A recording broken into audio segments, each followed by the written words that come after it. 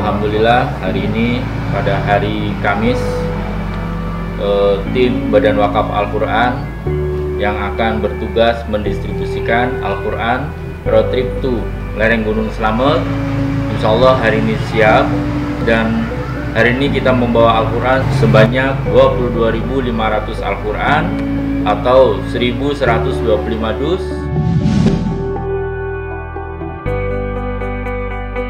jam 8 kita memulai, memulai perjalanan itu.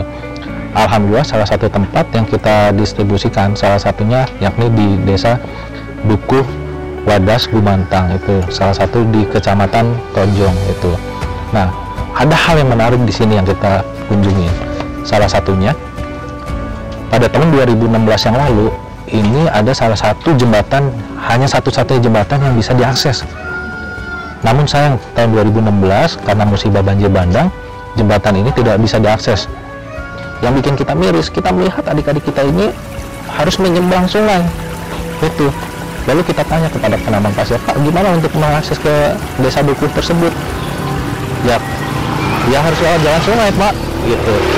Nah, ketika melewati jalan sungai, mau nggak mau, tim harus uh, bersedia turun dan membawa Al-Quran satu persatu. Dalam distribusi ini kita harus menyeberangin sungai. Mohon doanya ikuti terus perjalanan ini. Itu alhamdulillah kita turun, langsung kita angkat celana kita. Itu kita mencoba untuk menerabas sungai. Ternyata ketika kita menerabas sungai, arusnya itu cukup lumayan deras. Benar-benar kita pegang erat itu Al-Qur'an itu. Walaupun dengan rasa was-was, kita yakin bahwa tujuan kita itu pasti bisa kita tuju itu.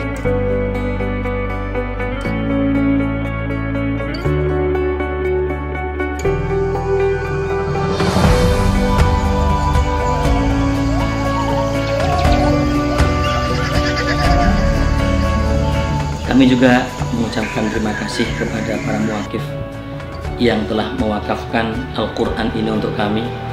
Insya Allah akan senantiasa bermanfaat untuk para santri dan untuk masyarakat sekitar.